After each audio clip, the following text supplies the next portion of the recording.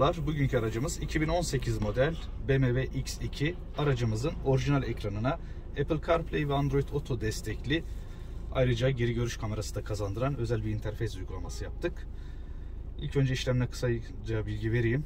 Aracın ilgili noktasına dokunmadık. Orijinal CD radyo arkasında özel interfez, e, interfezi ilgili alanın arkasına yerleştirdik. Gerekli kablo bağlantılarını yaparak işlemi tamamladık. Cihazımız sırasıyla CarPlay, Android Auto, ekran yansıtma, USB'den video izleme, ön kamera bu araçta kullanmadık. Geri görüş kamerasıyla işlemi tamamlamış olduk. Aracın orijinal ekranı, joystick tuşundaki back tuşuna 2 saniye kadar basılı tutuyorum. Orijinal interfeyzin arayüzüne erişmiş oluyoruz. Apple CarPlay'i göstereceğim bugün. Şu anda Apple telefonumuz kablosuz olarak bağlı. CarPlay ekranımız. Birkaç deneme yapalım. Şöyle Spotify'dan müzik açalım.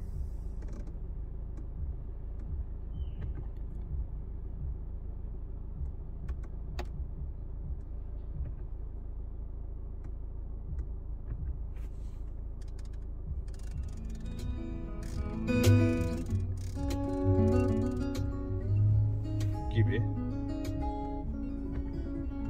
işte birkaç işlem daha yapalım.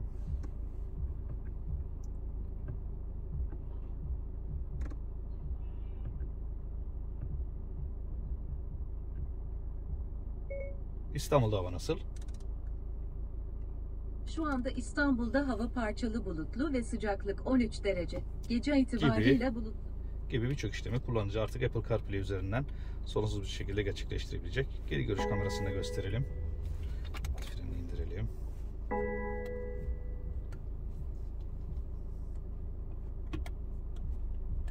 Geri vites attığım zaman otomatik kamera devreye giriyor. Park sensörünün diyaframıyla ilgili ekranda görüyorsunuz.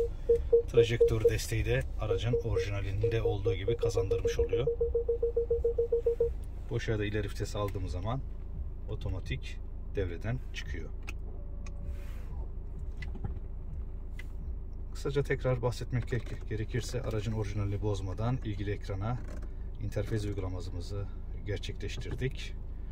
Kullandığımız özel interfez sayesinde aracın orijinal ekranında olmayan Apple CarPlay, Android Auto, ekran yansıtma her iki akıllı telefondan. Bunları tekrar göstereceğim. Joystick'e alışmak biraz zaman alıyor.